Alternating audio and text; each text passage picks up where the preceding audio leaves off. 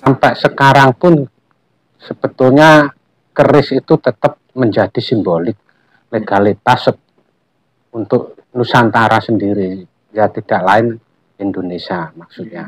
Jadi pada zaman-zaman Pak Harto pada zaman-zaman seera Bung Karno itu pun menjadi sorotan untuk souvenir tamu negara dari negara luar karena punya daya tarik yang kuat keris dengan sejarah bersangkutan dengan tanah Jawa sendiri perjuangan menyangkut perjuangan terutama di era-era zaman Pangeran Diponegoro. Karena pusaka pusaka menjadi simbol atau legalitas juga. Legalitas seorang pribadi ya legalitas sebagai simbol jabatan ya sebagai simbol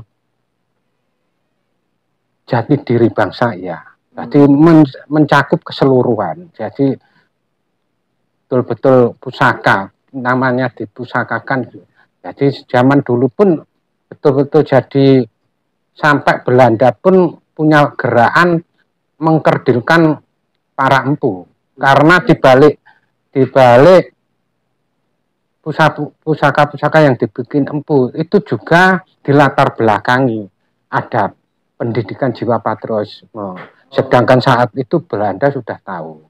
Makanya di saat penjajahan Belanda sudah masuk tanah Jawa ini mulai dikerdilkan.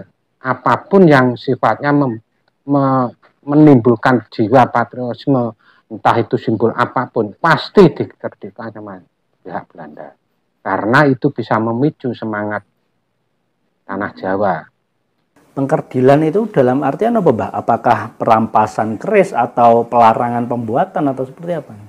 Ter, mencakup seluruhnya, Mas. Di, di jadi di batas-batasi semua sampai aliran apa pun, organisasi apa pun meskipun berlogo dengan torekot pun juga dibatasi. Ulama sendiri Makanya jadi sorotan Belanda karena ulama diam-diam mendidik prioritas.